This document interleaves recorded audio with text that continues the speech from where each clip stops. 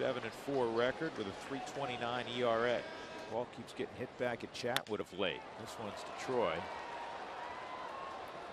And that'll end the inning. Denorfia had 293 last year in 130 games. Here's another 2-2 and he got him to chase up and in at 95 to end the inning. They're playing pretty good without him. Strike three on Guzman. Second strikeout tonight for Chatwood. 3-2 on the ground toward the hole. Great play. Helton, good feed to Chatwood.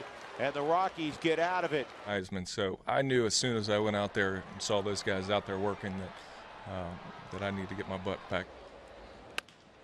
And he rolls one to third. Arenado got the glove down low. And on the tag, Helton gets Cedeno. One, two, three, sixth inning for Tyler Chatwood.